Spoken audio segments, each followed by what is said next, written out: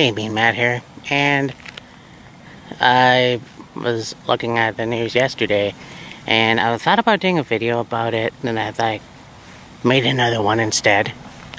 But kind of an interesting topic, where Glenn Jacobs, the mayor of Knoxville, Tennessee, went one on one, as the title said, with the Junior Drag Queen Parade or something along those lines.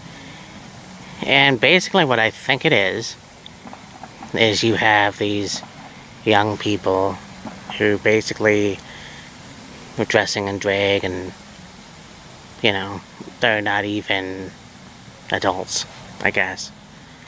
And he basically put a ban out. And he's like as long as I'm married that'll never happen in Knoxville. And you know, two things. First of all, I kind of expected that from Glenn Jacobs being a Republican and knowing what they're all about. So, there's that. There's also a point where I think that it's also freedom of speech. And I get it, kids are kids, and people should not make the decision for them. But it's also like Mike Bennett put up a post on Twitter, I guess was applying to Glenn, and yeah, he said that my kids go to those drag shows and they have a blast and all that stuff. And I, and I, I have some friends who have been a part of drag shows and all that stuff. I'm not into it myself. I just feel like it's just a freedom of speech. Not just like anything else. You know? And you don't hear about it too much. Sometimes I do, and I just, I'm like, you know what, it's not my thing, but if it's what others want, then why am I judging? You know? And that's just the way I see it. That's because you look at let people be who they are. And I was talking to somebody the other day, and my nails obviously are painted. He says, I pegged you as a man's man. And, you know, kind of right wing. And honestly, I'm, I'm nothing like that at all. In fact, I'm quite the opposite. There's some conservative parts of me, obviously, but I tend to look at it like Henry Rollins.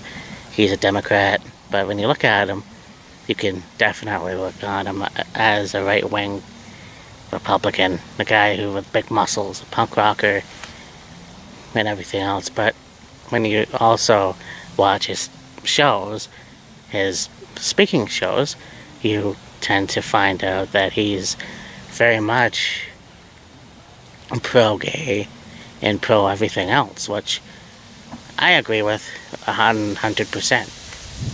But it's kind of interesting because people are obviously going to talk about it. Some people are going to bitch about it, but I think that Glenn Jacobs is, you know what, it's his choice. And if he doesn't want that in Knoxville, which I have no idea how big it Knoxville, Tennessee is, but that's his choice, you know. Right or wrong, that's his choice. But just thought was kind of interesting because on one hand I know that he would be against the drag shows because of the fact that yes he's a Republican and all that stuff. I don't know a lot of other Republicans that are the opposite, but if there are, if there is, then prove me wrong. Just like liberals, but who knows? Anyways, for myself, I'm not too liberal, not too conservative either. But, anyways, yeah, there it is. So,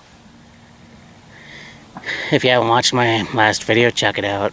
Obviously, I'm not sure what's going on with the Saudi Arabia show, Crown Jewel, but if it happens, cool. If it does get canceled, I don't know, but we'll see. Anyways, talk to you later. Bye. So you know that them cutting WCW was a long time coming. But you know, I think that there's this myth out there that Jamie Kellner Gnarly. that's why he you know, took pleasure in cutting WCW. I don't think that's the case at all. Because if you look at some of his earlier interviews, like he